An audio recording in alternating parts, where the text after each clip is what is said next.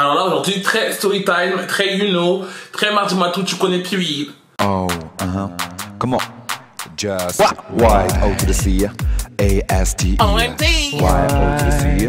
A S T E. You got me good. Y O to the C. Y Y Y. Y O to the C. Y. S T E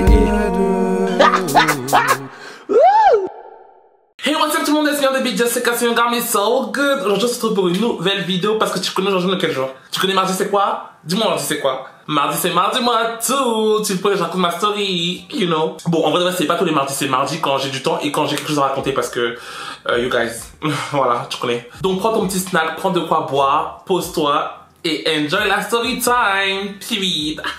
Mais avant toute chose, si c'est la première fois que tu es dans cette chaîne, déjà bienvenue. N'hésite pas à t'abonner, à liker, à partager et surtout abonne-toi et active la petite cloche parce que tu sais pertinemment que tu vas revenir donc revenir en temps et en heure. C'est-à-dire à chaque fois que je fais une nouvelle vidéo. Et abonnez-vous à mon Instagram que vous voyez juste là. C'est gratuit, ça me fait toujours plaisir. Thank you guys.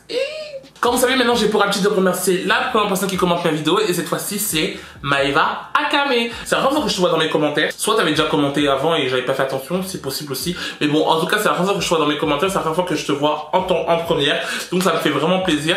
Merci à toi d'avoir activé la cloche, d'être là en place, period.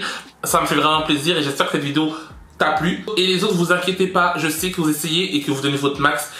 Continuez vos efforts, vous allez y arriver, guys. Vous allez y arriver. En tout cas, merci à Tom Maïva. Et j'attends de voir qui sera la première personne cette fois-ci. Puis, Bon, guys, euh, pour ceux qui n'auraient toujours pas compris le concept du mardi matou, mais en gros, c'est chaque mardi, quand j'ai quelque chose à vous raconter, je raconte une story time. À l'ancienne, je pouvais vous le faire genre tous les mardis parce qu'on avait été beaucoup plus sauvage, mais bon, guys, j'ai grandi et je me suis un petit peu calmé, on va dire. Mais il y a quand même des petites pépites qui m'arrivent, mais bon, tu vois, et je les sauvegarde un peu pour euh, vous les raconter au fur et à mesure. C'est pour ça que je ne fais plus les mardis matou tout le temps, chaque semaine, parce que you guys, c'est impossible. Cette fois-ci, il n'a pas menti sur la taille. Guys, eh, écrivez tout de suite, écrivez tout de suite et dites-moi si vous pensez que j'ai réussi le challenge ou pas. Je vous laisse 3 secondes. Ok, puis bon. Bon, you guys, comment on va dire Comment on va commencer cette story time On va faire un petit, un petit contexte, comme toujours, tu connais. Vous savez que maintenant j'ai remis mes pieds sur les réseaux sociaux, euh, sur les réseaux de rencontres. Vous savez que j'ai remis mes pieds. Mais genre juste un pied, pas deux pieds comme j'étais à l'ancienne. Genre juste un pied quand de temps en temps, vraiment, quand mon ventre écrit famine et que j'ai besoin vraiment de nourriture, et que j'ai besoin de vitamine D. et de temps en temps, au carré, voilà, je parle à certains hommes, tu connais j'ai peur que cette, que cette pas peur, mais j'ai pas envie que cette vidéo elle tombe dans les stéréotypes. Tu vois, parce que j'ai rencontré énormément de noirs, hein. j'ai rencontré énormément de noirs et j'ai rencontré énormément de noirs avec différentes tailles, on va dire, des gigantesques comme des, enfin non, pas des gigantesques parce que celle-ci, je pense que c'est rare que j'ai rencontré quelque chose aussi gigant, aussi gros dans ma vie, mais il faut pas, il faut arrêter avec ce stéréotype que comme quoi que noir égale genre euh, euh, serpent, boa, tu vois ce que je veux dire ou pas Il y a de toutes les tailles, de toutes les formes, avec des cols roulés, sans cols roulés, il y en a de tout.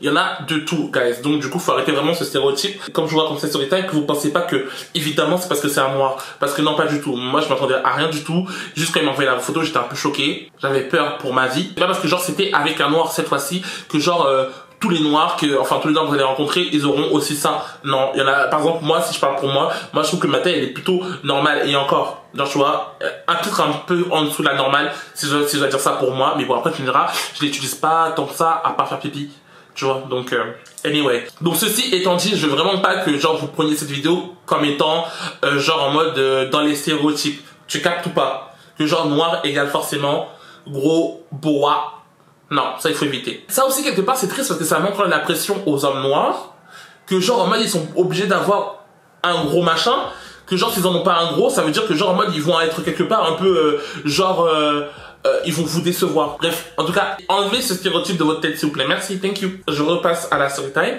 Du coup, on va l'appeler comment? On va l'appeler Abou. On va l'appeler Abou on va l'appeler Abou. Donc du coup, Abou il m'envoie un message. Moi je vous ai dit les gars que les comptes anonymes c'est vous et votre chance. Soit vous faites le, les gens craquer en mode ouais moi je pas parce que t'as pas de photo. Soit tu demandes une photo et tu t'es choqué. Je laisse la porte ouverte à tout le monde qui craque je peux faire un premier pas. Après c'est à moi de juger c'est soit je te montre la sortie soit je te montre l'entrée de, de l'hôtel là. Euh, tu captes pas. Donc du coup ah oui m'envoie une photo. Quand je dis je commence à péter les plombs parce que je me dis ok Abou ok Abou un mètre 1m98. 1m98. Moi, je suis déjà comblé. Donc, du coup, Carrie, en mode, dès qu'il m'envoie sa photo, je fais OK. Je lui dis, vas-y, bah, j'ai mon adresse. Je dis complètement, viens. Sur son nom et tout, il y avait aucunement écrit, genre, en mode, euh, c'est comme ils connaissent, genre, TP, TBM ou Extrême TBM ou je sais pas quoi. Il y a rien écrit. Moi, j'étais vraiment là pour euh, le faciès et le corps et j'étais ok. Tu vois, j'étais content. Je m'en foutais de ce qu'il y avait en dessous, que c'était petit ou pas. Franchement, je m'en foutais. Tu vois. Il me demande si je veux pas des photos de ses attributs. Je dis concrètement, euh, moi, je m'en fous. Genre en mode, euh, tu me plais bien, donc viens. moi, ça, moi, ça me va déjà. Moi, tu vois, moi, je suis déjà ok.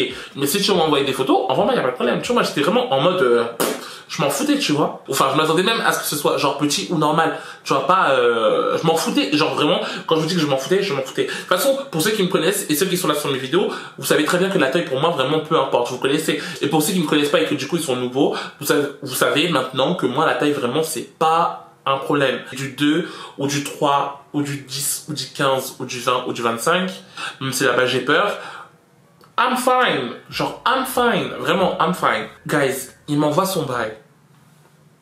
Vous savez très bien comme les gens en général ils font pour, les photos, il y a soit ils mentent, soit ils font des espèces de petits euh, de petits effets crari rallongés, genre en mode tu vois, les photos en vrai de vrai t'es jamais vraiment sûr de ce qui peut arriver parce que tu sais à quel point les gens ils abusent sur les sur les positions genre ils peuvent tellement mentir à tellement de fois tu sais pas vraiment si c'est la vérité que ce qui va arriver tu sais pas si ça va ça va correspondre à ce que t'as commandé tu captes ou pas? Quand je me dis qu'il m'envoie une photo, Crary, ça se voyait que c'était la photo pas pour euh, grossir le bail. Genre en mode c'est vraiment une photo Crary en mode juste il a pris comme ça, après il m'a envoyé. Guys, un monstre. Quand il m'a envoyé la photo, quand j'ai reçu la photo, j'ai hésité. J'ai hésité. Vraiment j'ai hésité. Là il y avait ma santé et il y avait Tom Raider. Tom Raider était en train de se battre, mais ma santé elle commençait à gagner. Elle commençait à me dire en mode tu vas aller à l'hôpital, tu vas te faire mal, on va t'opérer, mourir. Là, mort. Pendant que Tom Raider était là en mode ouais Challenge, challenge, go, viens, on y va, vas-y, let's go, mission. Et vous connaissez très bien qui a gagné Tomb Raider. Tomb Raider, bien sûr que Tomb Raider a gagné. Qui gagne euh, euh, Tomb Raider, elle, gagne toujours. Genre, Tomb Raider gagne toujours. Mon esprit d'aventure est toujours gagnant. Jamais il y a la santé qui gagne. Faudrait à un moment donné que la santé se commence à, tu vois, à prendre du muscle parce que là on est fatigué. Moi je, je, suis fatigué de devoir, de devoir me mettre dans, dans des positions pareilles alors que j'ai très bien que je vais mourir, genre tu captes ou pas? Tomb Raider concrètement elle m'envoie au bourbier. Les gars je sais même pas comment vous décrire la chose parce que de tous les fruits que j'ai vus, voire les légumes, je pense que c'était le plus gros. Genre un manioc. Est-ce que vous savez ce que c'est qu'un manioc? Si vous ne connaissez pas ce que c'est qu'un manioc, je vous invite à aller voir. Mourir Là, quand je me dis que vraiment, pour le coup, j'ai hésité quand même, j'ai vraiment hésité. Genre, j'ai hésité. Le combat entre Tom Raider et ma santé a duré vraiment un bon moment. Parce que quand il m'a envoyé la photo, il m'a, m'envoyait des, il me renvoyait des messages en mode pour l'interrogation, pour l'interrogation, pour l'interrogation. En mode, wesh, qu'est-ce que tu fais, qu'est-ce que tu fais? C'est comment, c'est annulé, c'est pas annulé, non. Je pense qu'il avait peur lui-même. Mais je pense que, je pense que lui-même, il est au courant de ce qu'il a entre les jambes parce que sinon, il m'aurait pas envoyé la photo d'abord. Parce que carré, c'est vraiment une mise en garde. Genre, quand il m'a envoyé la photo, c'était vraiment en mode, est-ce que t'es prêt ou pas?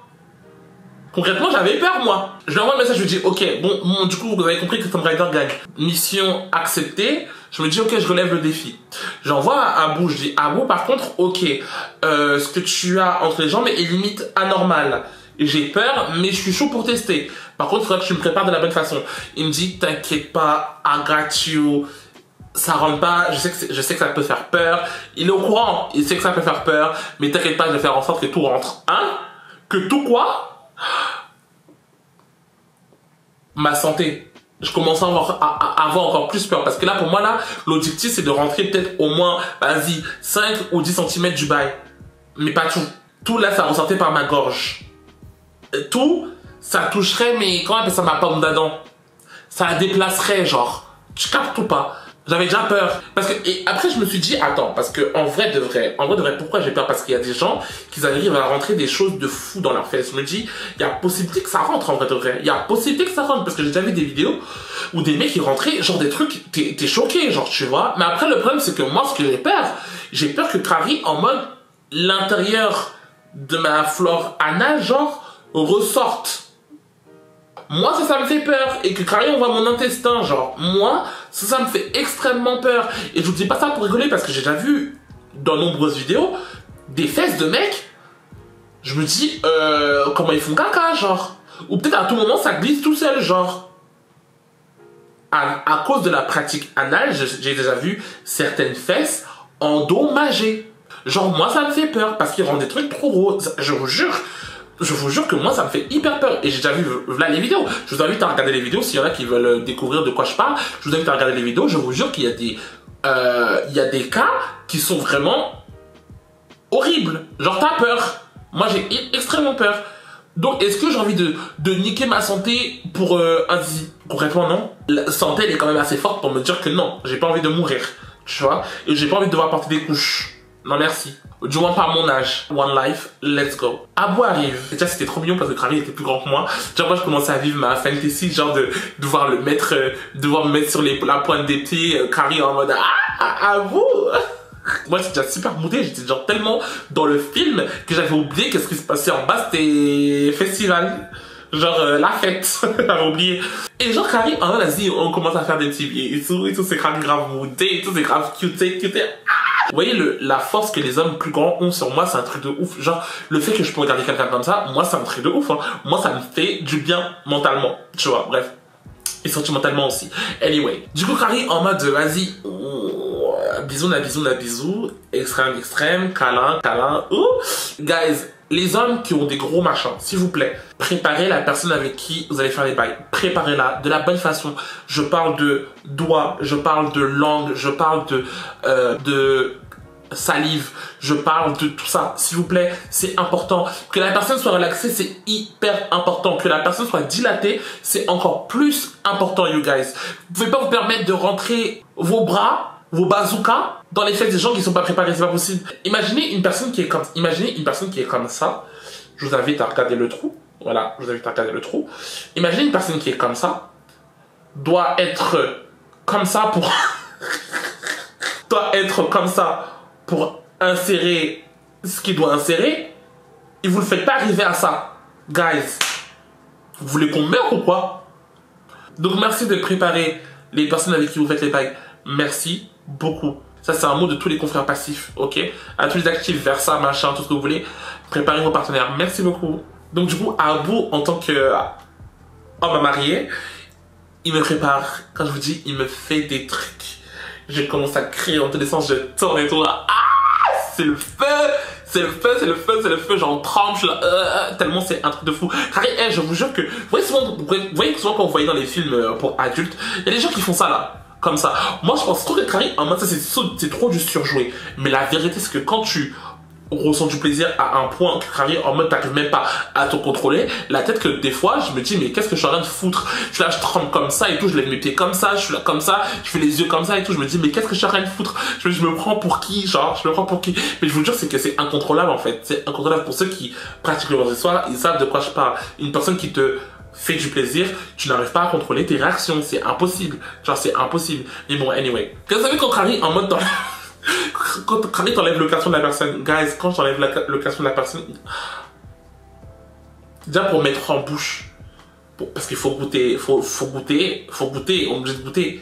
En sachant que j'ai une assez, euh, j'ai quand même, je vais pas dire non plus j'ai un puits, mais genre on peut dire que voilà, j'ai quand même un, un assez grand, un assez tunnel assez profond.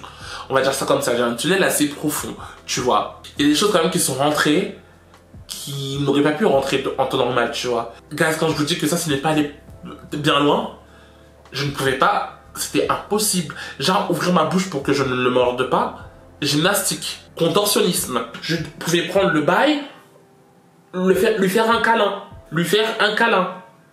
Guys, c'était la catastrophe. Là, je commence à avoir peur pour ma vie en même temps que j'étais en train de, de essayer de, de travailler son, son affaire.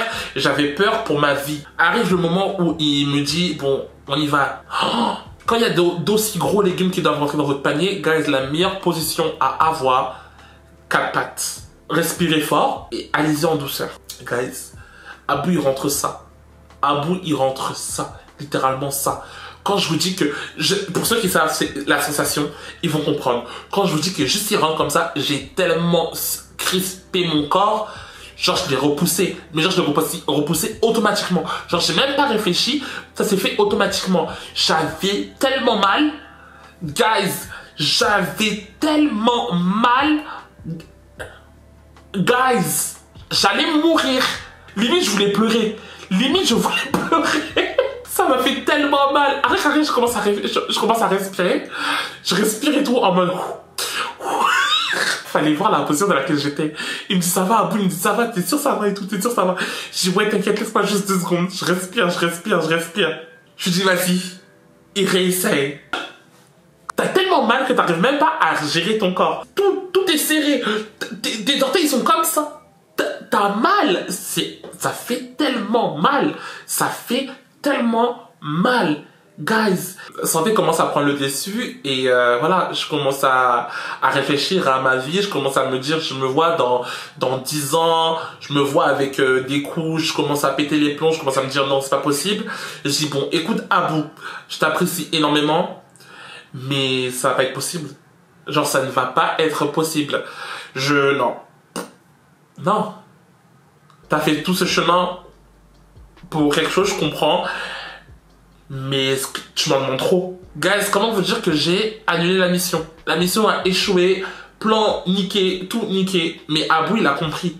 Abou, il sait très bien que ce qu'il a, il est conscient de ce qu'il a entre les jambes, il le sait. Il sait très bien que c'est pas tout le monde qui peut accueillir tout ça. Genre, c'est pas tout le monde. Je vous jure que moi, je pense qu'il faut faire une opération. Il faut agrandir. Faut vraiment agrandir son anus, c'est pas possible. Harry rigole avec moi et tout, il comprend. Et c'est ça qui été cool aussi, c'est que genre en mode, il l'a pas pris en mode ouah flemme et tout, tu m'as saoulé, tu m'as fait venir pour rien.